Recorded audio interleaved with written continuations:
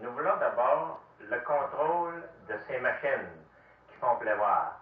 Nous avons demandé au gouvernement qui contrôle ces machines-là, parce que nous croyons que si ce n'est pas contrôlé, que n'importe qui peut faire mouiller et nous ne le savons pas et nous croyons qu'il faut que ça soit contrôlé 100%.